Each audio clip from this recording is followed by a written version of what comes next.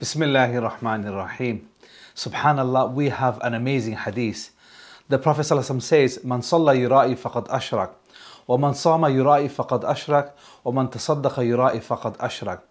He says that whoever performs a prayer with ostentation, then he has associated partners to Allah subhanahu.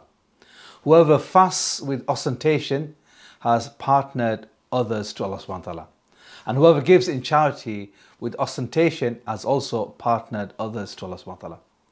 The word ashraka means hidden partnering, shirk khafi subhanallah. The Prophet said that hidden partnering is that a person is to perform and stand in prayer and then increases or enhances his prayer due to observing another person observing him subhanallah another person watching him we need to realize that every act of worship should be performed solely for the pleasure of Allah subhanahu wa ta'ala. Any deed done with the intention of showing off will not be eligible for Allah's reward and mercy. Plus, on the day of resurrection, a person would be ordered to beseech those whom he did the good deed for. Save yourself and your loved ones from destruction. Enjoy good and forbid evil. Constant reminders of excelling and enhancing individual is important.